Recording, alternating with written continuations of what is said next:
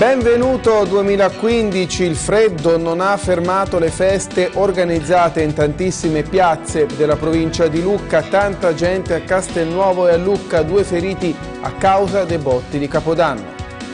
Un tuffo da record per salutare l'anno, oltre 200 temerari hanno sfidato le acque gelide di Viareggio per festeggiare in modo originale il 2015.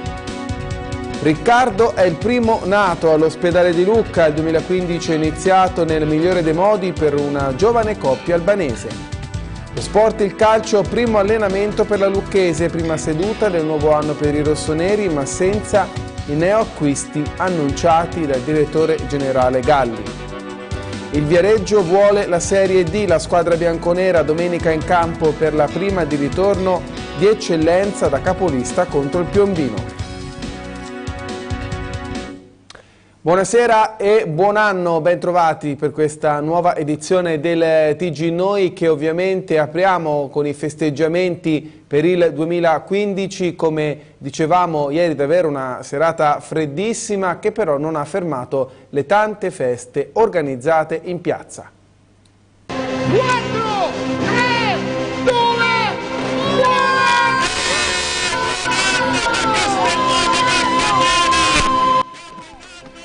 Benvenuto 2015, è stata una notte freddissima, gelida, quella che ha dato il saluto al nuovo anno. Le temperature rigidissime hanno frenato solo in parte le molte feste organizzate nelle varie piazze della provincia di Lucca. Cominciamo da Castelnuovo Garfagnana dove la manifestazione organizzata dal Comune e dall'Unione dei Comuni insieme a Noi TV ha richiamato in piazza Umberto tanta tanta gente. Tra balli e brindisi guidati da Fabrizio Diulaiuti l'ambiente si è scaldato richiamando le persone che prima avevano festeggiato nei ristoranti della città oppure nelle proprie abitazioni. Il sindaco Andrea Tagliasacchi ha ringraziato l'organizzazione dell'evento e ha mandato un messaggio a tutti i telespettatori. Quindi è bello essere qui perché è un segnale di incoraggiamento a tutti noi, è un segnale di incoraggiamento e di speranza, è un segnale anche a quelle persone che magari in questo momento sono a casa e non ne hanno voglia magari non hanno voglia di festeggiare perché è un momento difficile. Io ho visto salire le scale del comune in questi mesi a tante persone che hanno chiesto aiuto, che sono in difficoltà. Non a tutti siamo ancora riusciti a dare una risposta, però io vorrei dire a loro che non sono sole neanche stasera e che questa festa è anche per loro e che noi ci saremo nei prossimi mesi e nei prossimi giorni.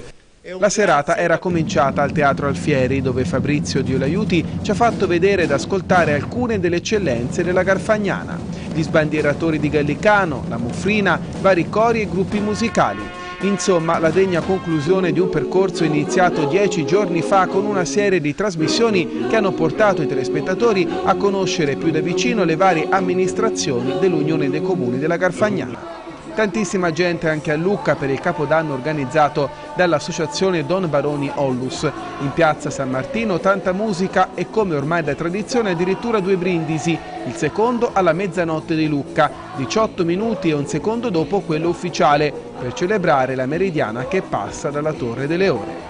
I premi lucchesi dell'anno 2014 sono andati al ministro Stefania Giannini, all'atleta Sara Morganti e al musicista Federico Favali. A Viareggio la festa principale era stata organizzata alla cittadella del Carnevale. Il freddo pungente ha un po' rovinato la serata, anche se molti hanno scelto di festeggiare sotto il segno della musica con gli Abba Dream e il DJ Andrea Paci. Freddo che alla fine ha favorito i locali pubblici, le discoteche. La capannina di Franceschi a Forte dei Marmi, animata da Jerry Calà, ha registrato il tutto esaurito. Sono due, entrambi giovani, le persone rimaste ferite nella notte di San Silvestro a causa dell'esplosione di petardi. Vista la gravità delle lesioni sono stati ricoverati all'ospedale di Pisa. I due ragazzi in circostanze diverse hanno riportato ferite alle braccia e alla parte inferiore del corpo. E proprio un petardo ieri sera poco prima della mezzanotte ha innescato un incendio all'interno dell'ex tribunale di Lucca. Forse un petardo, forse un fuoco d'artificio lanciato da qualche ragazzo che non ha considerato le conseguenze. C'è con ogni probabilità una bravata alle origini dell'incendio scoppiato poco prima della mezzanotte all'interno dell'ex tribunale di Lucca in via Carrara, nel piano centro storico, nello stabile che ospita anche il giudice di pace. La zona centrale ha permesso che alcuni passanti notassero quasi subito il fumo uscire dalla struttura, lanciando così l'allarme. In pochi minuti sul posto sono arrivati i vigili del fuoco e la polizia a cui sono affidate le indagini. Oltre alla squadra mobile con il dirigente Virgilio Russo è intervenuto anche il questore Vincenzo Ciarambino. Il pronto intervento dei pompieri ha evitato che le fiamme si propagassero velocemente, rischio concreto vista la presenza di moltissima carta degli archivi giudiziari. Saranno adesso le indagini della polizia scientifica a stabilire l'esatta causa dell'incendio e a tentare di dare un volto ai responsabili. E durante la nottata a Lido di Camaiore i carabinieri hanno arrestato un giovane cittadino marocchino di 25 anni per tentato furto aggravato. Intorno alla mezzanotte, durante un servizio mirato contro i furti, i militari sono intervenuti in una villa dove erano stati segnalati movimenti sospetti. I carabinieri hanno notato una finestra rotta e all'interno della casa hanno scovato il giovane che aveva tentato di nascondersi dietro alcuni armadi. E questa mattina a Viareggio una eh, tradizione, ormai possiamo definirla così, il tuffo in mare per Capodanno. Per noi c'era Roy Lepore.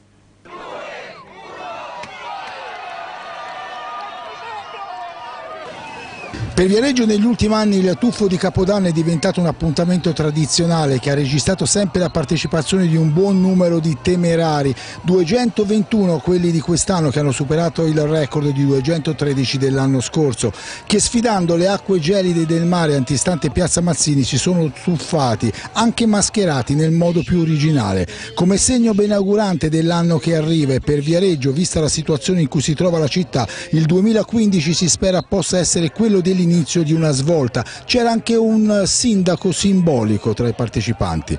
È un messaggio di speranza che l'amministrazione la, la, riprenda il suo cammino. Il commissario ha fatto il suo, ma aspettiamo a gloria un nuovo sindaco che possa riportare la Viareggio agli albori di un tempo. Quest'anno l'iniziativa ha anche uno scopo sociale perché il ricavato della vendita delle cuffie verrà donato all'associazione Aurora Francesconi, purtroppo in ricordo della quindicenne scomparsa tragicamente in un incidente stradale. Era presente anche il papà Gianmarco. Questo tuffo lo dedichiamo a lei, come sempre Viareggio ha risposto, ogni manifestazione che abbiamo fatto per Aurora diciamo il sole, il bel tempo ha sempre risposto bene e che dire, un anno tremendo e speriamo che il 2015 ci porti della verità. Com'è la temperatura? Buona. Si sta benissimo, tra tutti i tuffi che ho fatto questo è stato quello più caldo. Pensavo fosse più freddo a dire la verità e pensavo fosse anche peggio uscire, ma invece non è così. Da ripetere? Da ripetere? Sicuramente. Ma è freddo? Perché io ho freddo a guardarlo. Freddo ma pensavo peggio. Io sono molto felice di aver fatto il bagno. C'erano anche diversi suoi alunni? C'erano anche diversi miei alunni, mi fa piacere tutto questo perché vuol dire che c'è una generazione che cresce di gente sana. Allora mi auguro che il 2015 sia, sia tutta alla rovescia di quello che è stato il 2014. Anche, sì. Fanno anche questo al tuffo di Capodanno? l'accappatoio. Ai ai, allora, quindi due, allora ci vuole un accappatoio, eh? No, SOS accappatoio. L'acqua com'era? Freschina freschina. Si stava meglio l'anno scorso ora? No, meglio quest'anno, più sole, molto bello. Davvero complimenti ai temerari. C'è ancora una notizia di cronaca che arriva da Viareggio, vandali in azione anche per l'ultimo giorno dell'anno. Ignoti, e possiamo vedere le immagini, hanno eh, spezzato la testa della Madonnina che si trova nel presepe di Piazza Mazzini realizzato come da tradizione dall'amministrazione eh, comunale. Eh, dura la condanna da parte dei viareggini che questa mattina hanno appunto eh, scoperto l'atto eh, vandalico, non è, non è, ancora stato determinato eh, chi sia stato. Adesso torniamo alle buone notizie e andiamo a scoprire il eh, primo nato, il primo nato che arriva da Lucca. Si chiama Riccardo ed è uno splendido bimbo di 3,8 kg, il primo nato del 2015 all'ospedale San Luca di Lucca. Riccardo è venuto alla luce alle 4.18 nel reparto di ostetricia e ginecologia diretto da Gianluca Bracco. Per il papà Bledian e la mamma Brisida, entrambi albanesi da moltissimi anni in Italia, si tratta del primo maschietto. Riccardo andrà infatti a fare compagnia alla sorellina Rebecca di 6 anni. Alla domanda su che cosa vorrebbe per lui nella vita, la mamma non ha dubbi. Basta che sia tranquillo, felice e contento, che non gli manchi niente, poi per il resto le cose arriveranno da sole. Quando crescono diventano, cioè, che li, la vita gli auguri, cioè, gli venga tanta gioia, in poche parole. A Noemi Nieri, figlia di Domenico e Michela, aspetta invece la fascia di penultima nata del 2014 all'ospedale di Lucca alle 16.16 del 31 dicembre. Il record assoluto come primo nato del 2015 in provincia di Lucca aspetta invece ad un maschietto venuto alla luce all'1.22 all'ospedale Versilia. E c'è un'altra tradizione che ormai si ripete da tanti anni, il primo gennaio, ovvero la Marcia della Pace andata in scena nel centro storico di Lucca. In occasione delle celebrazioni della Giornata Mondiale della Pace, le associazioni, i movimenti e gruppi laicali dell'Arcidiocesi di Lucca hanno voluto far giungere il loro sostegno alle parole del Papa e alla sua sollecitudine per la pace nel mondo, organizzando anche quest'anno la Marcia Insieme per la Pace. La marcia è una tradizione confermata per la nostra città, come lo è in molte altre città d'Italia e del mondo, dove cristiani e credenti di tutte le religioni, ma anche uomini e donne di buona volontà, vogliono iniziare l'anno con un passo di pace, convinti che la guerra, la violenza e la divisione tra gli uomini non siano inevitabili. Per le celebrazioni della 48esima giornata mondiale della pace, Papa Francesco ha scelto questo tema, non più schiavi ma fratelli. Molti lucchesi che hanno risposto all'appello e che si sono ritrovati nel pomeriggio del primo dell'anno alla chiesa di Sant'Andrea, sede della comunità di Sant'Egidio, per poi sfilare in silenzio per le vie principali della città, con alla testa del corteo i cartelli con i nomi delle nazioni dove ancora oggi si combattono guerre, fino ad arrivare nella cattedrale di San Martino, dove è stata celebrata la messa presieduta dall'arcivescovo. E adesso per concludere quest'ampia pagina dedicata al nuovo anno ascoltiamo il messaggio eh, di augurio da parte del questore di Lucca Vincenzo Cerambino e dell'arcivescovo Italo Castellani. Auguri, auguri di cuore a tutti i cittadini della provincia di Lucca, ai loro sindaci che con passione governano questo bellissimo territorio questo è il pensiero affettuoso della, della Polizia di Stato della provincia di Lucca che in queste ore insieme a tutti i colleghi delle forze di polizia è impegnata a garantire il sereno passaggio dall'anno vecchio all'anno nuovo. Ed è sostanzialmente l'augurio che ci fa anche il nostro prefetto, la dottoressa Cagliostro, che sta trascorrendo qualche giorno di ferie, direi anche meritatamente nella sua, uh, amata, nella sua amata, Calabria. Il, um, la riflessione che dobbiamo fare è che eh, tutti possano approcciarsi, avvicinarsi al, alla fine di questo anno con uh, sobrietà, con compostezza eh, evitando poi quegli eccessi eh, che possano eh, incidere negativamente eh, sulla serenità eh, altrui. Eh, l'augurio forte e affettuoso va anche agli amici della stampa, della carta stampata e delle televisioni che in questi, in questi giorni, in queste ore eh, sono impegnati come noi a verificare che tutto si svolga tranquillamente in un clima di gioia e di serenità. Auguri di cuore a tutti. Eh, il mio augurio lo voglio rubare quasi dalle parole note di San Francesco il quale augurava, quando incontrava le persone, essenzialmente pace e bene.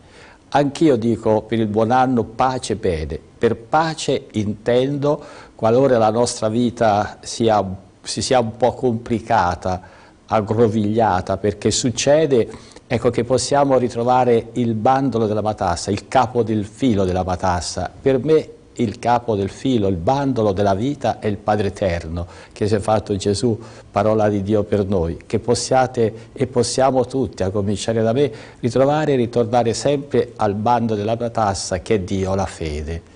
E poi eh, vorrei augurare bene, però la parola bene, pace e bene, il bene oggi come sempre è ciò che fa stare bene ma chi è che fa stare bene, oltre che il punto fermo, la parola di Dio che dà luce e pace ai nostri cuori?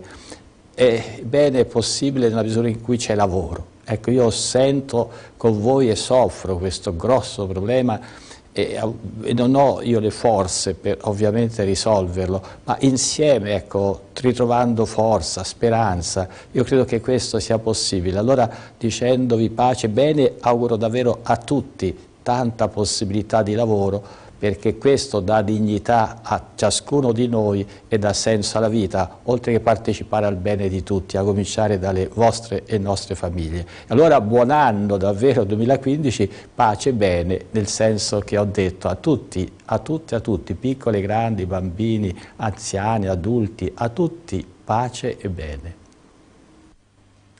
A Pietrasanta parcheggi gratis in piazza Statuto il 3-4 gennaio, lo ha stabilito la giunta comunale, l'obiettivo favorire cittadini e turisti nella visita del centro storico in questo weekend. La sosta gratis partirà alle ore 8 di sabato 3 gennaio e si concluderà alle ore 24 di domenica. Il Comune di Altopascio conferma l'erogazione del fondo anticrisi per sostenere le famiglie in difficoltà. Il bando pubblicato sul sito del Comune prevede due tipi di contributi, il primo dedicato a contributi in denaro, buoni alimentari, rimborsi tasi, centro diurno e asilo nido. Il secondo è dedicato interamente al contributo per la tasi. L'importo complessivo del fondo è di 67.000 euro, come dicevamo le informazioni le trovate sul sito del Comune di Altopascio. E chiudiamo questo TG eh, con un appuntamento in programma domani al Teatro dei Rassicurati di Monte Carlo alle 21 sulle note della Misericordia, primo concerto di Capodanno organizzato appunto dalla locale Misericordia. Sul palco il trio da camera con Valeria del Soldato, Lorenzo Giovannelli e Anna Livia Walker, musiche di Fauré, Piazzolla e Ortis. È tutto per la prima parte del TG Noi. Una breve pausa e poi ci ritroviamo per la pagina sportiva.